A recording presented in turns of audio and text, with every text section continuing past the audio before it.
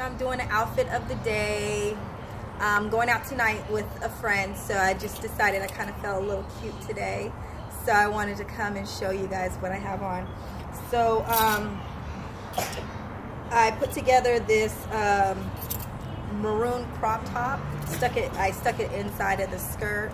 This skirt was from Forever 21, as long with the top, I believe. I got it from yeah.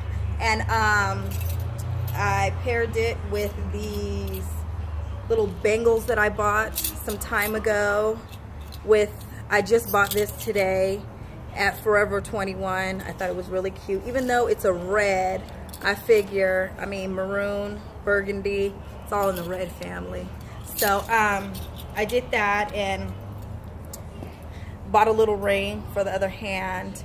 Nothing, you guys seen my hair. It's just the same, just pinned it up, curled it, did that.